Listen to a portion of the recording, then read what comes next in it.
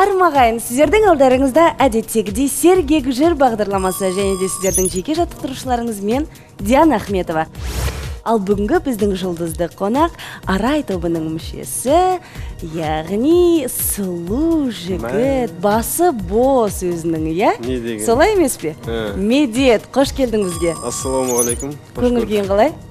Күшті ұйқы қанбаған болмаса. Неге ұйқың қанбады? Түнімен тойда болдың ба? Жоқ.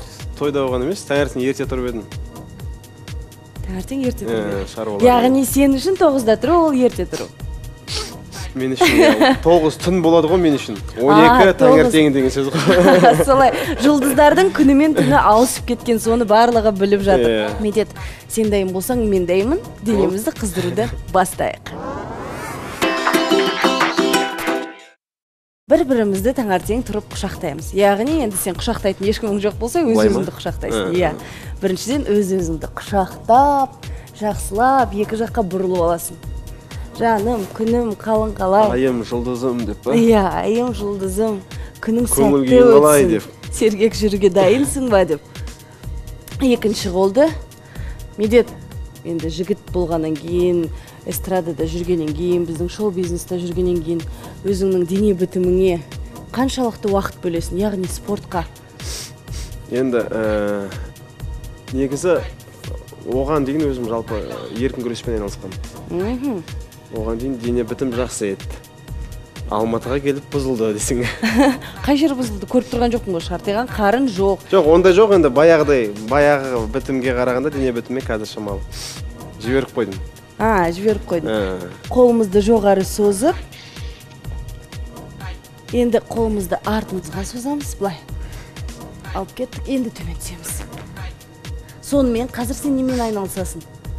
Өзіңнің дене бітімің ұстап тұру үшін.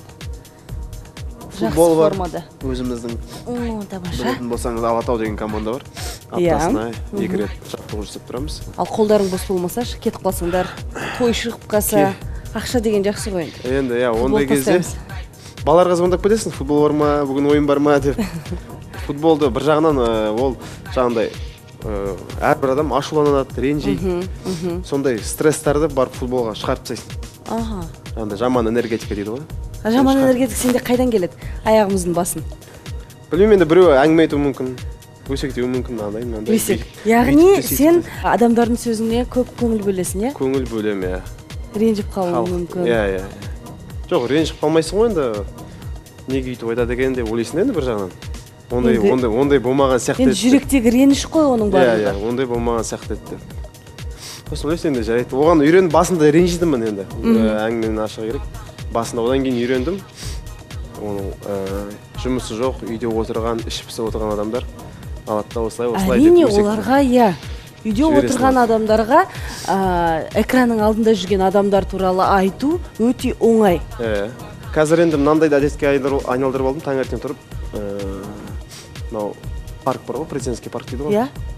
Соның ішінде турник брусья бәрі бар. Аха. Соны жүгіріп сол жерден дайындалудан жіберіп жатырмыз қазір. Бастап жатырмын. бастап жатырсың? Иә. А бүгін неге бастамадың? Әй Бүгін- сергек жүрге барамын ғой күніне сергек жүремін. Бүгін ә, біріншіден осы ә, бағдарламаға келе- келетін болғаннан кейін шамалы шаршамай келейін дегенім. Одан обедте тағы съемкам бар одан кешке футбол бар. Сосын жүрекке шамалы қатты ауырт ауыртпалық түсірмей ақ қояйын дедім. Дұрыс дұрыс деген сонда.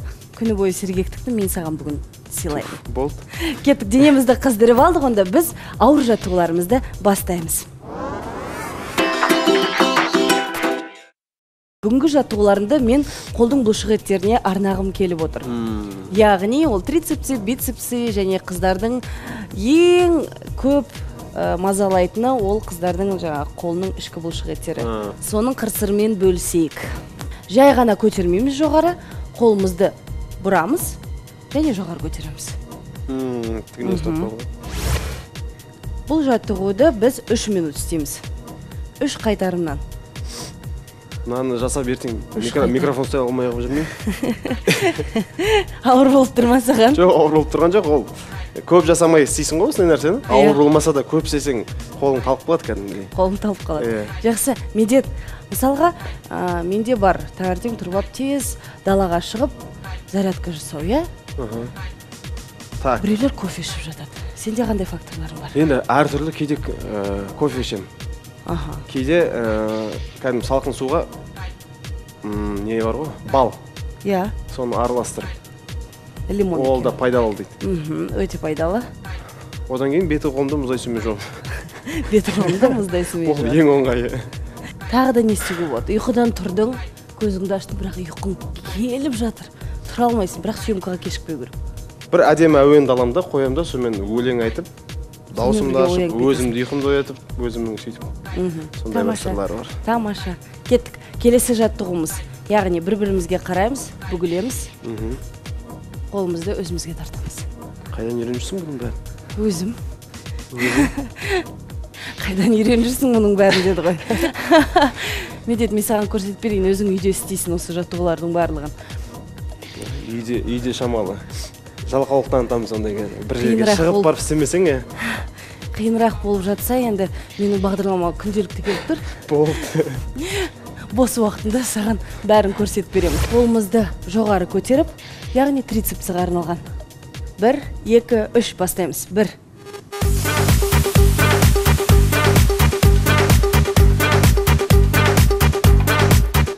Әкем бірінші класстан бастап.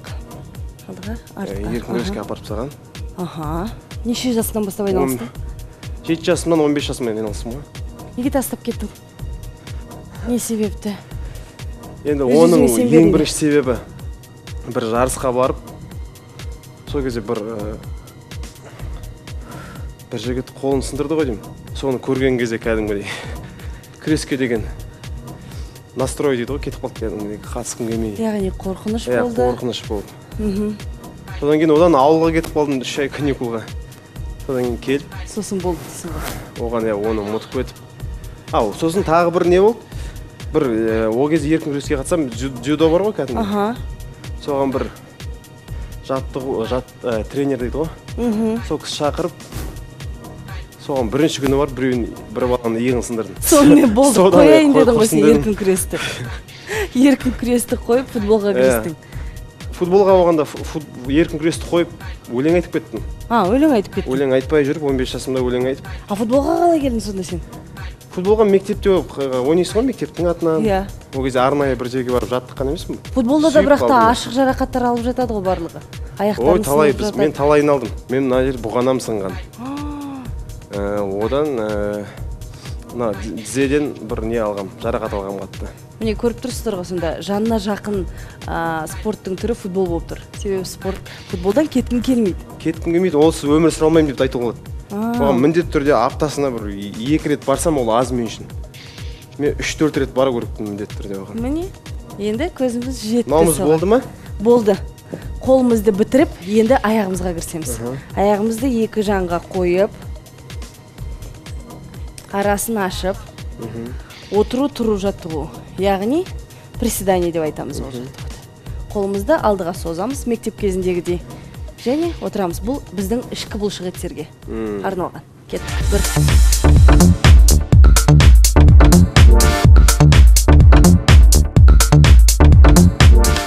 Сені көп отырғыздыра бермейін онда мен қазір тағы да. бәлеге қалып жүрмейін. сергей жүрге келіп диана мен тіземнің жарақатын одан сайын асырындырып жіберді деп. Жоқ жоқ ол жазылды аяқ.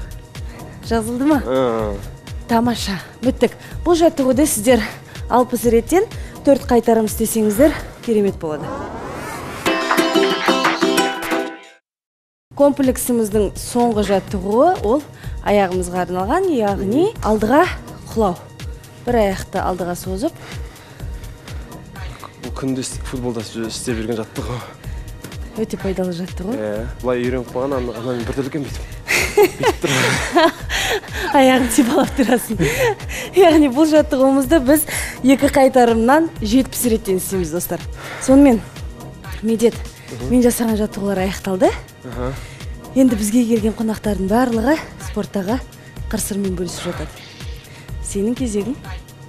Сіздер енді көбіне каблукпен жүресіздер ғой. Мхм. Соған бір пайдалы жаттығуларды көрсетейін. Иә басқа қыздар жүреді көрсетейік. Қандай? Басқа қыздар сіз жүрмейсіз ба каблукпен жоқ. Болашақта жүріп қалған кезде онда жақсы болады сізге.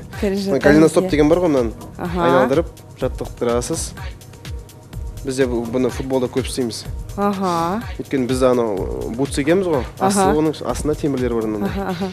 Аяғың бос тұрмау үшін қайырылып қалған кезде чтоб аяғыңды ұстап тұратындай қылып а сенде бұл футболда- жаттығу сол үшін екен ғой?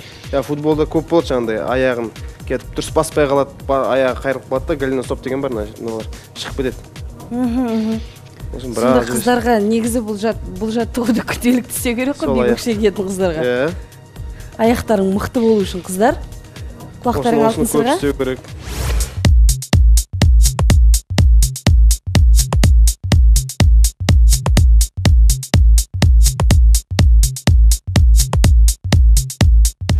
сені де қинамай ақ қояйын бүгін әлі талай қонақтар келетін сияқты. Ғой қой мен қиналмаймын мен бұндай жаттығуларды жасай беремін жасай беремін. Және үйренуге де менің ынтам өте Ынтаң көп. иә. Сондықтан да медет рахмет саған үлкен. Сізге рахмет. Келіп өзіңнің ақылың кеңесіңмен бөлісіп кеткеніңе яғни саған творчестводағы табыстар тілейміз. Әмин ал енді медет екеуміз жасаған барлық жаттығуларға шолу жасап шығамын. Сонымен қатар фиделити фитнес залына алғысымызды білдіреміз.